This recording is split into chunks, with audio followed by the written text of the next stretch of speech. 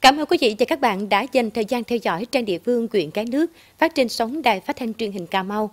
Thưa quý vị và các bạn, ngay sau Tết Nguyên đán nhâm dần, bà con nông dân quyện Cái Nước bắt tay ngay vào lao động sản xuất với khí thế phấn khởi. Nhiều hộ gia đình chủ động đầu tư nhân rộng các mô hình sản xuất thuộc về thế mạnh của địa phương, gắn giới ứng phó hạn mặn trong những tháng mùa khô, cấp phần đẩy mạnh phát triển sản xuất ngay trong những ngày đầu năm mới.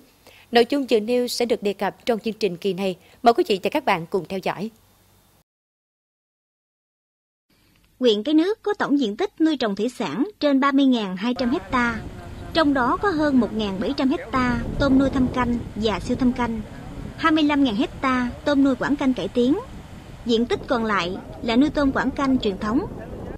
Theo quy luật hàng năm, sau Tết Nguyên đán là thời gian cao điểm của mùa khô. Nắng nóng gay gắt kéo dài làm cho độ mặn trong dung tôm tăng cao, không thuận lợi cho tôm nuôi phát triển, tiềm ẩn rủi ro thiệt hại. Để kiểm soát độ mặn giúp tôm nuôi phát triển trong những tháng mùa khô, ngay sau Tết Nguyên đán nhâm dần, ông Nguyễn Văn Mon, tổ trưởng tổ hợp tác sản xuất bào sen ấp Lăng Cùng, xã Thành Phú, cũng như nhiều hộ nuôi tôm quảng canh cải tiến có diện tích đất sản xuất nằm sâu trong nội đồng, đã chủ động lắp đặt máy bơm, sẵn sàng cấp nước bổ sung cho dung tôm khi cần thiết, đảm bảo ứng phó với độ mặn, chủ động sản xuất trong những tháng mùa khô.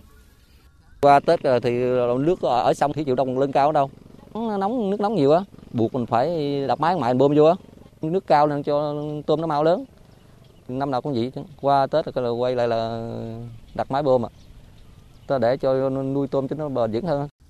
Với cách làm này nhiều năm liền mô hình nuôi tôm quảng canh cải tiến của các thành viên tổ hợp tác sản xuất bầu sen ấp Lăng Cùng xã Thành Phú thu hoạch đạt năng suất khá cao. Hộ ông Mai Văn Quốc ấp sở tại xã Thành Phú được mệnh danh là kỹ sư chân đất, luôn có những giải pháp sáng tạo trong sản xuất. Năm nay, ông Quốc chủ động ứng phó với hạn mặn bằng giải pháp mới. Sau khi thu hoạch vụ tôm càng xanh trong ruộng lúa, thay vì bơm hết lượng nước ngọt ra bên ngoài, ông đã bơm sang dung tôm bên cạnh để tích trữ lượng nước ngọt, kết hợp với bổ sung nguồn nước bên ngoài sông khi độ mặn trong dung tôm đạt ở ngưỡng 10 phần ngàn. Khi đó sẽ áp dụng quy trình nuôi tôm quảng canh cải tiến không thay nước trong suốt những tháng mùa khô, nhằm hạn chế độ mặn thấm sâu vào trong đất giúp cho khâu rửa mặn để gieo xả lúa ở vụ mùa tiếp theo sẽ dễ dàng hơn. Nghĩa là bây giờ mình ờ, giữ cái nguồn nước của mình ờ, là nằm khoảng 10 phần ngàn thì ờ, bờ bây giờ là mình phải đảm bảo. Cái thứ nhất là chống cái gò gỉ. Nghĩa là mình khi mà mình tích trữ nước cho đầy ở cái giai đoạn này. Thì bởi vì qua cỡ khoảng ờ, tháng 2, tháng 3 trở về sau là nước sông nó độ mặn nó tăng cao thành ra mình giữ được cái nước này thì tới cái thời điểm mà độ mặn cao quá mình không cần phải bơm vô.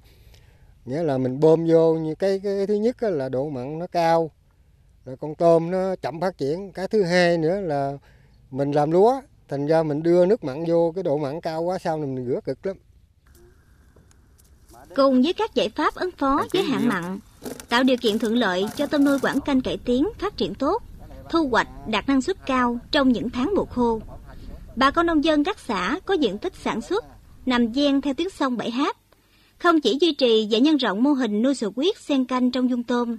mà còn đổi mới cách bố trí thời vụ theo hình thức luân canh gói vụ. Thay vì trước đây, mỗi năm bà con chỉ thả nuôi một vụ sầu huyết trong dung tôm, Giờ đây, bà con áp dụng quy trình thả nuôi nhiều vụ trong năm, từ đó cho thu hoạch thường xuyên, nâng cao hiệu quả kinh tế trên cùng diện tích canh tác. Nói chung là lợi ích tương lối gấp 2, gấp 3. Bởi vì cái lượng sò mình hàng giáp tháng thì mình cứ mò có thu hoạch có vài. Còn trước đây cắt vụ là 8 9 tháng mới có mò một một đợt thì trong năm thì mò, mò có vụ sò thì nó, nó, nó nó thu hoạch không cao bằng bằng lắp vụ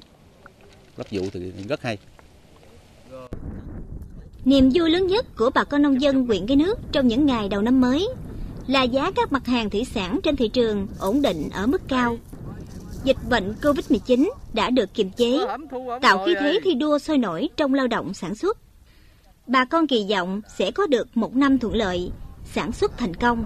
góp phần nâng cao đời sống vượt qua khó khăn thời kỳ hậu Covid-19. Thưa quý vị và các bạn, để thúc đẩy sản xuất phát triển, nhiều nông dân ở huyện Cái Nước tìm tòi nghiên cứu đưa vào ứng dụng có hiệu quả sáng kiến kinh nghiệm, giúp tiết kiệm chi phí, nâng cao hiệu quả sản xuất như xây dựng ao nổi bằng bê tông để nuôi tôm siêu thâm canh của hợp tác xã nuôi tôm năng suất cao xã Tân Hưng, cải tiến máy cải tạo vuông tôm 3 trong 1 của nông dân Phan Tấn Phong, ấp Nam Đảm, xã Lương Thế Trân. Mời quý vị và các bạn theo dõi những sáng kiến hữu ích trong sản xuất của nông dân huyện Cái Nước qua ghi nhận sau đây. Hợp tác xã nuôi tôm năng suất cao xã Tân Hưng, huyện Cái Nước thành lập vào năm 2016. Đây là hợp tác xã đầu tiên trong huyện thực hiện mô hình nuôi tôm siêu thâm canh. Sau thời gian dài thực hiện, hợp tác xã nhận thấy ao đầm nuôi tôm theo cách làm truyền thống không còn phù hợp, tốn kém chi phí tiền điện mỗi khi có nhu cầu cấp và thoát nước cho ao nuôi. Còn đối với thiết kế ao nổi bằng vật liệu sắt thép, độ bền sẽ không cao do yếu tố thời tiết, độ mặn, phải thay thế làm tăng chi phí sản xuất. Để khắc phục hạn chế này, Hợp tác xã nuôi tôm năng suất cao xã Tân Hưng, huyện Cái Nước đã nghiên cứu xây dựng ao nuôi tôm bằng bê tông với diện tích ao nuôi 200 m vuông, chi phí đầu tư khoảng 80 triệu đồng. So với giải pháp gia cố khung sườn bằng sắt thép, chi phí đầu tư cao hơn từ 10 đến 15%, nhưng bù lại ao nuôi có thời gian sử dụng lâu dài và mang lại nhiều tiện ích cho người nuôi tôm siêu thâm canh. Khung sắt thì mình thấy là nó ờ, về lâu về dài, cái cơ bản nó không có bằng cái ao xi măng. Tại sắt mà à, nuôi với nước mặn thời gian nó gò rỉ thì có những cái trường hợp bị bung. Thì đó mình mới nghĩ ra là làm như thế nào với một cái điều kiện cơ bản nhất và lâu dài nhất, ổn định nhất. Thì đó mình đó là nghiên cứu ra mình làm cái hồ bằng xi măng. Thì à, thời gian sử dụng nó rất bền và nó có à, tuổi thọ cao hơn. Tại vì mình xác định là nuôi nghề tôm là nghề chính là chuẩn là thu nhập ổn định cao. Thì phải đầu tư cơ bản làm sao để cho nó phù hợp à, lâu dài hiệu quả mang lại là kinh tế cao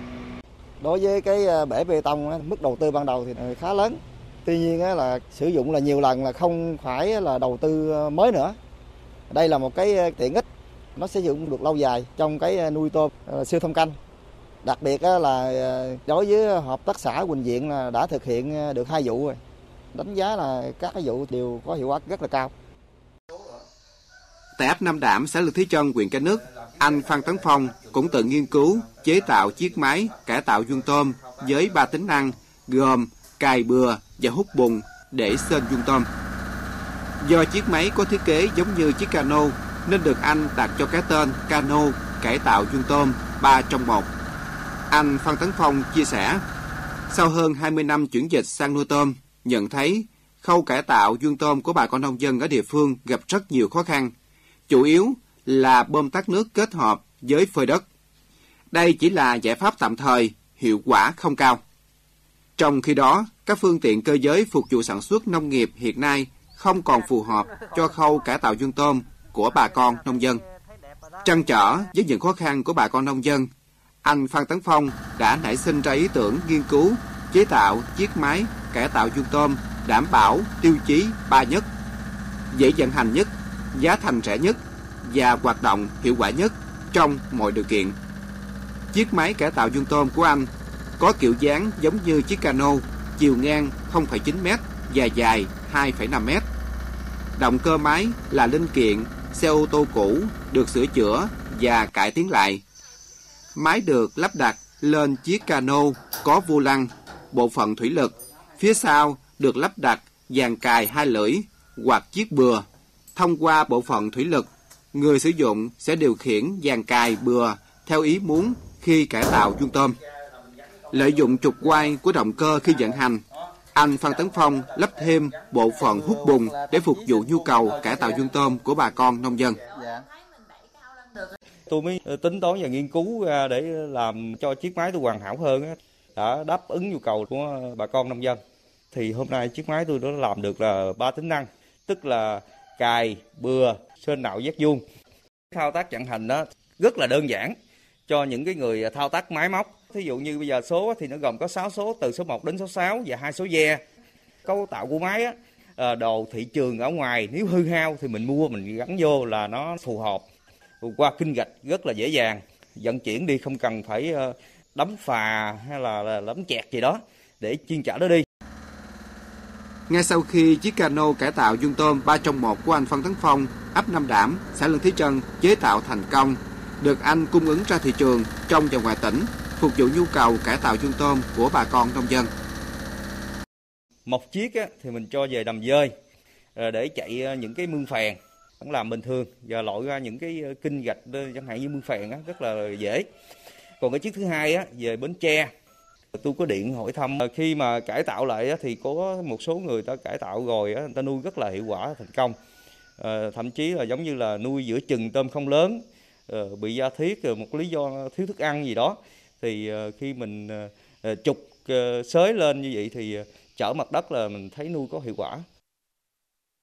Với cách làm sáng tạo, bê tông hóa ao nuôi tôm siêu thâm canh của hợp tác xã nuôi tôm năng suất cao xã Tân Hưng và cải tiến cano cải tạo vuông tôm 3 trong 1 của nông dân Phan Tấn Phong, ấp Nam Đảm, xã Lê Thí Trân, huyện Cái Nước đã góp phần giúp cho bà con nông dân có thêm sự lựa chọn phương thức đầu tư ao nuôi tôm siêu thâm canh và cải tạo vuông tôm phù hợp, tiết kiệm được chi phí đầu tư, nâng cao hiệu quả trong nuôi tôm. Trang địa phương quyện Cái Nước phát trên sóng phát thanh truyền hình Cà Mau kỳ này, đến đây xin tạm dừng. Cảm ơn quý vị và các bạn đã quan tâm theo dõi. Xin được kính chào tạm biệt.